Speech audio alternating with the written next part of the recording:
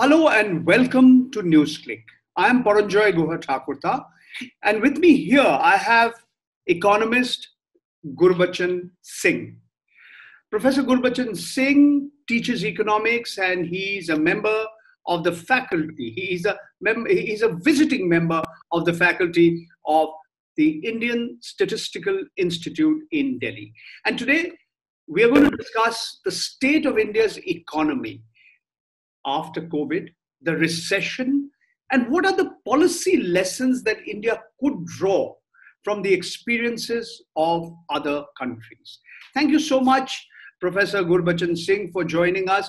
Uh, now, the first question to you is we know that the Indian economy is going to shrink. India's national income or gross domestic product or GDP is expected to shrink. Now, it has been slowing down for the last several years. And now, on account of the COVID pandemic and the ongoing economic recession, there is an expectation that India's economy could shrink or contract. Now, the amount or the proportions vary. Some people say 4.5%, others are saying 12.5%. So there's quite a range.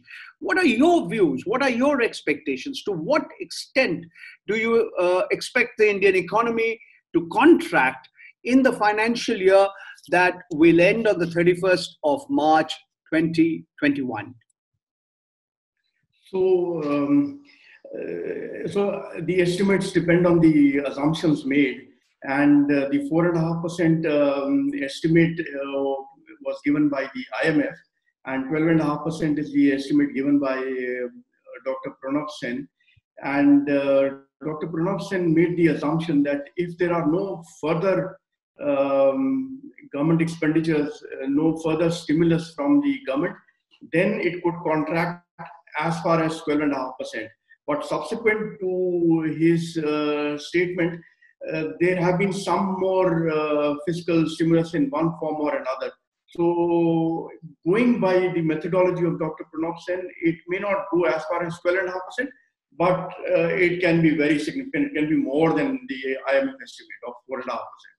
Okay. Now, you know, how do you define recession? The Americans and the West defines recession as negative growth. I mean, that's a tautological phrase. I mean, the economy does not grow, it actually shrinks for two successive quarters. That means for a six month period. But many people argue that what we are going to see is not just a recession, but a deep recession, perhaps something in the nature of a depression. What are your views, Professor Singh? Um, that is uh, very true. In fact, um, at the time that people were invoking the US definition here, uh, the finance minister had said that uh, while the West is looking for a possible contraction, I'm talking about the earlier years before COVID 19. And that time she said, in our case, only the growth rate has come down, but it is still positive, well beyond zero. However, post COVID, the situation has changed dramatically. So uh, we are talking about uh, negative uh, growth rate and not just negative, it is significantly negative. So one could describe it as depression.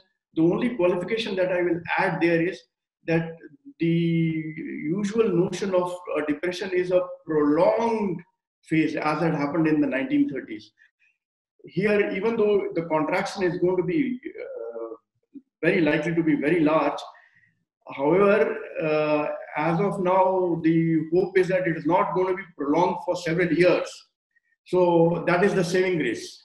Uh, now, Professor Singh, a lot of people say that what is bound to happen is that the fiscal deficit as a proportion of our gross domestic product is going to go up. Now, instead of being at 3% or 3.5%, it would go up to 7, 7.5%. Now, conventional wisdom says that, you know, uh, at if the fiscal deficit goes up, that's not good. It spurs uh, it, it, it, there is inflationary there are inflationary pressures, and this is uh, unsustainable. But at a time like this, when we are looking at a deep recession, which we don't know how long it will last, everybody, irrespective of their ideology, left, right, center, all believe that the fiscal deficit must go. But so far, what the government has announced so far, the, the so called 20 lakh crore package of measures, and then that, that is coming to roughly 10% of India's gross domestic product, uh, what our GDP was is projected to be roughly 200 lakh crores.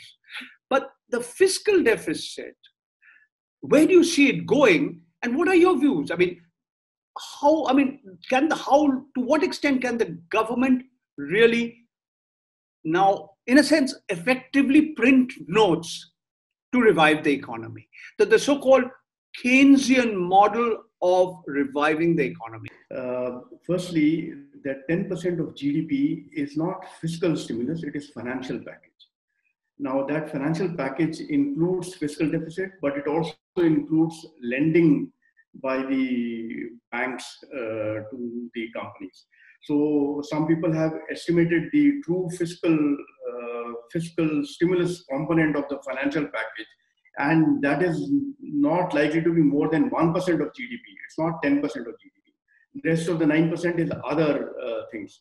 So one should bear that in mind. So what that means is that the implications for fiscal deficit are not uh, as huge as the figure of 10% uh, may suggest. The second thing here is that uh, while there is near consensus that there is a need for additional government spending, uh, there is a difference between additional government spending and deficit. So I also agree that the government needs to spend a lot more in this situation. However, uh, the deficit, the spending may be financed by borrowing, or it may be financed by uh, some other measures. And it is these other measures which uh, I have written about at some length, and I'll just briefly mention these here.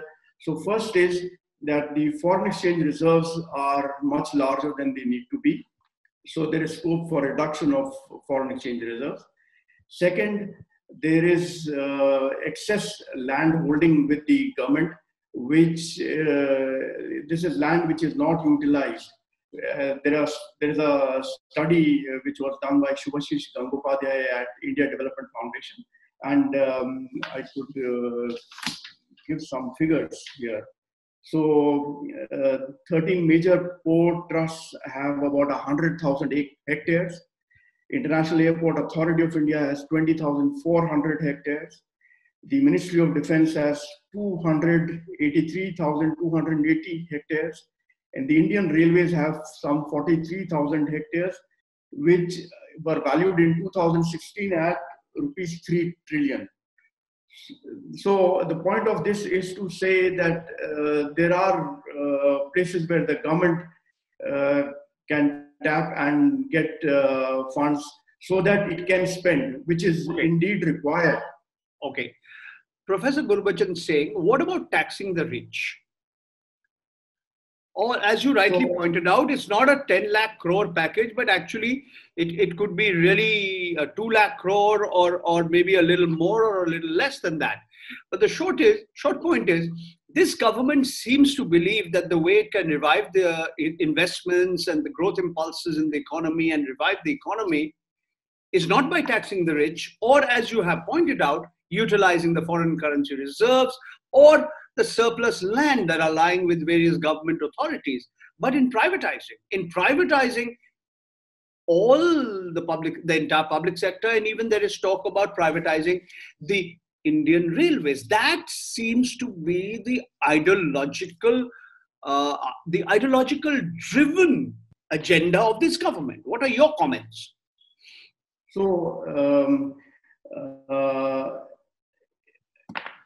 privatization can be an ideological matter and it may well be. However, I am not arguing for it as one of the measures in terms of any ideology. It's on the pure economics. As I said, the land is not utilized or underutilized. The excess land which the various government agencies have. And the foreign exchange reserves are huge and they earn very little money for the RBI. So, in a sense, uh, when we hold foreign exchange reserves, we are lending to the government of the United States. Now, imagine the situation. Why imagine this is what is happening? So, what we have is a situation in which the uh, poor Indian uh, RBI and government of India are lending money to the US government at about 1% interest rate or even less uh, currently. So there is uh, good economics uh, behind that. But the um, uh, other part that you said, where I where you have a very valid and very good interesting point, which is about taxation. Now, in India, we don't have an inheritance tax. We used to have wealth tax, which was abolished. Now, we have capitalist economies in the world, the United States, the European countries, which have both of these taxes in one way or another. And we are a mixed economy and we don't have either of these taxes. Now, it is this which needs to be tapped, and it, this in us, this particular time could be a good time to impose or reintroduce such a tax because we are going through a crisis. If we're going through a crisis, then as a nation we need to share with each other, which is to say that if there are if there aren't taxes, that are in place, then they need to be imposed. I just add a little bit. People are objecting uh, to a higher income tax. That objection may be quite valid. However, what they are not saying is that there is no wealth tax or inheritance tax, which is where there is scope. Professor Singh, you know, you have in your articles and your academic papers, you've talked about the experiences of other countries. You've talked about the experience of the United States, Europe, other developed countries. Now, what are there any lessons for India? I mean, India, does it have to follow the kind of examples of other countries in the world? I mean, what should be our own policies? What should be our own strategies to revive investment. Everybody knows that until and in, unless you revive investments and revive, revive consumption demand, there is no way that the Indian economy will improve. So, uh, if you could briefly summarize uh, the experiences of other uh, other countries, the lessons for, for India, and what we need to do here in this country. So, um, the important lessons that we have are from Japan which faced a very serious recession in the year 1989 1990. That's the time they also went through a big asset price crash. And uh, post that, they started what subsequently came to be called as quantitative easing. And they also moved in for large fiscal deficits and huge public debt.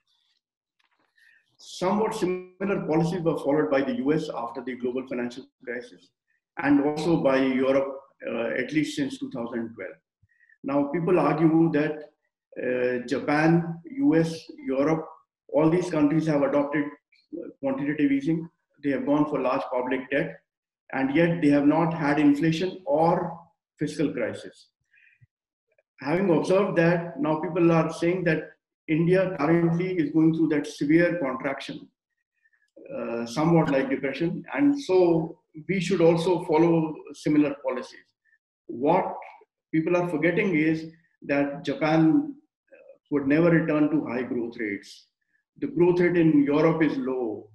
The US growth rate, though not as bad as uh, Japan and um, Europe, it's still lower than what it was earlier.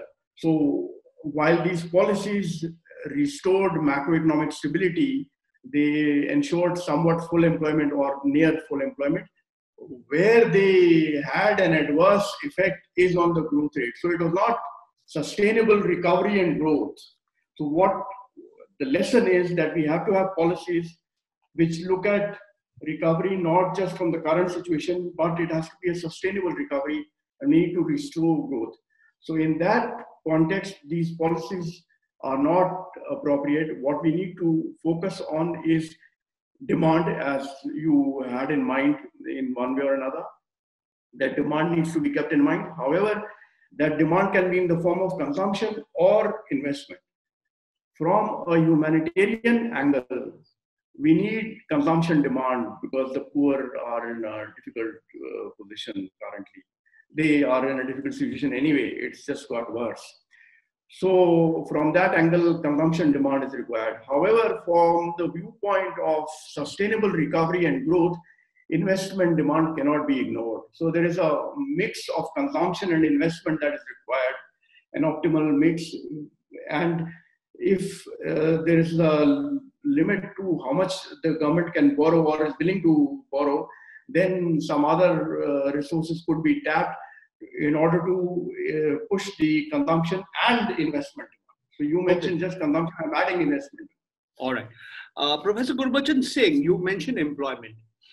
Uh, we already had a situation for, for the last several years, actually, one could even argue for the last several decades. Growth had not led to job creation. I mean, it was not really labor intensive, our pattern of growth. I mean, we had actually jobless growth or close to jobless growth. Uh, after the lockdown began, according to the Center for Monitoring the Indian Economy, we had reached a, uh, unemployment reached record levels. One out of four persons in this country was unemployed, and and uh, with the migrant, uh, the the movement of migrants, the internal migration that took place that started uh, in, in in in late March and continued right through May and June. I mean, what many believe we what we've witnessed in India in the recent past is the biggest internal migration of its kind in the history of humankind.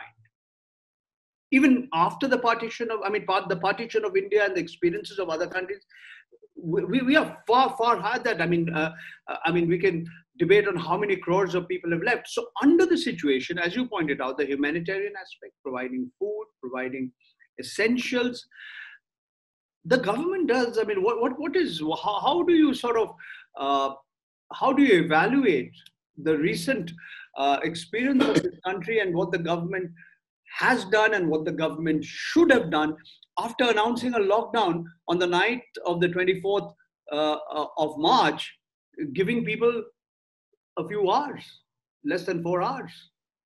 Yes. So I think here there is, this is more an issue of public administration rather than economics and it is a case of mismanagement. It is a case of uh, administration that has not done well. The governance has been poor. The planning has been uh, poor.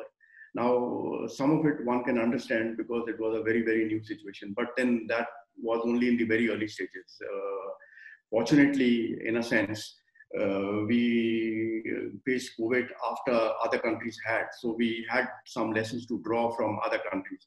But what I want to say here is that uh, this is uh, more a failure of uh, public administration, governance, um, which is the core function of the government, and the central government and several state governments. though some state governments have done better than others, um, but it, it, this is not really so much an issue of resource constraint. I would not say that.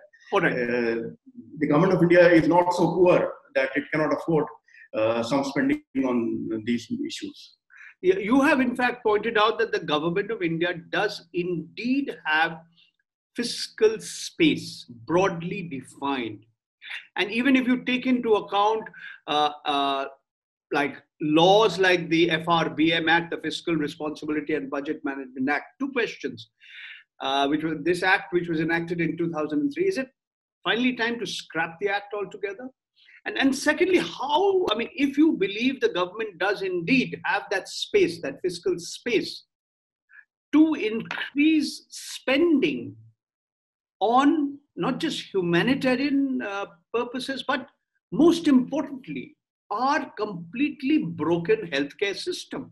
I mean, we have been spending so little on our healthcare that even now it seems whether whether I mean I wonder whether the government has woken up to the terrible situation that we are in and, and the pathetically low public investment that is taking place in healthcare. Yeah. Let me uh, talk about the FRBM Act, Fiscal Responsibility and Budget Management Act 2003. Now, there was a reason that this was put in place, and uh, there were good reasons. And I am of the view that those reasons remain valid. This is not to say that the government should not spend more. Don't get me wrong, please. I am saying the, gov- the government should not scrap this act, but it should spend and it should finance that spending through reduction of foreign exchange reserves, sale of excess land, and some disinvestment given the crisis situation that we have. And also because there is uh, an economic underutilization of the resources. And uh, now, the reason why I'm saying the FRBM Act should not be scrapped, uh, and many people have a rather wrong conception on that. Let me clarify that first. What people are arguing is that 3.5% uh, fiscal deficit uh, is a is something that works for US, Europe, so it's something that works for India. Now there is a basic difference between the two cases. In Europe, in Japan, in the US, the tax to GDP ratio is much higher than it is in India. Now, because the tax to GDP ratio is much higher than uh, that in India, uh, the comparison becomes uh, very lopsided. So, what I mean by that is that if it's 3.5% fiscal deficit in, say, Europe, then that translates to some percentage of fiscal deficit as a proportion of the tax revenues. Now, when we come to the Indian case, the 3.5% fiscal deficit can mean a very large percentage of tax revenues. So just to give you some uh, number, uh, a sense of the numbers. So, so it's something like 35%. If you take the deficit, if you take the fiscal deficit in India as a proportion of the tax revenues of the government of India, then it's about one third or thereabout. I don't remember the exact number, but it is that very high. That is not the situation in US, Europe, Japan. So what I want to say is that the fiscal situation is really bad. Let me give you another figure. The interest payments are about one third of the total expenditures in India at the central government level. That's a huge figure. What I want to say is that the fiscal situation is not good, and it is in this context then one is saying that the FRBM Act should not be scrapped. However, given the COVID crisis, given the recession or near depression situation that we have, the government should spend, but it should spend out of foreign exchange reserves, excess land, uh, public sector undertakings, and uh, that kind of uh, that kind of. Okay, thank you very much, Professor Gurbachan Singh, for sharing your views with the viewers of NewsClick, and keep watching NewsClick.